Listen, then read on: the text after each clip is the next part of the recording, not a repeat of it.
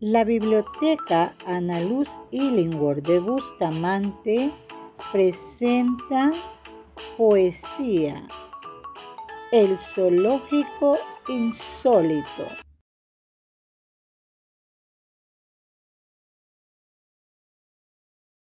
En el zoológico insólito de Calamar de los Vientos, vi animales tan extraños que me dejaron perplejo.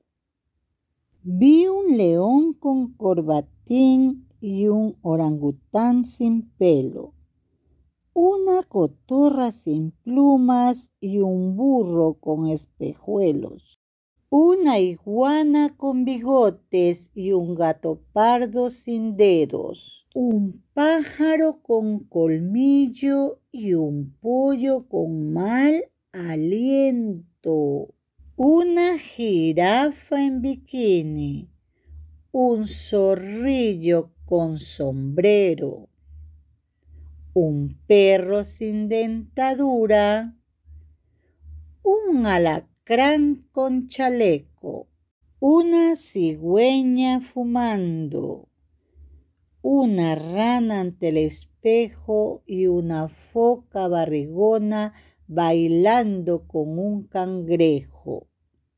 Vi también un cocodrilo jugando con un conejo. Vi un rinoceronte verde y una búfala escribiendo. Cuando salí del zoológico de Calamar de los Vientos, en cuatro patas me puse para volar por los cielos. Poeta José Luis Díaz Granados, Colombia.